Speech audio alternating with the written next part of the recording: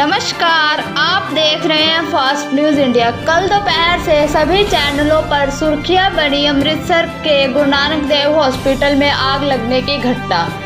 प्रशासनिक चूक के कारण लगी इस भयंकर आग में ना जाने कितना जानी नुकसान हो सकता था, इसका अंदाज़ा लगाना मुश्किल है। कड़ी मशक्क़त के बाद फायर ब्रिगेड ने आग पर काबू पाया, लेकिन उन मरीजों का क्या हशर हो रहा है जो इलाज के लिए हॉस्पिटल में दाखिल थे?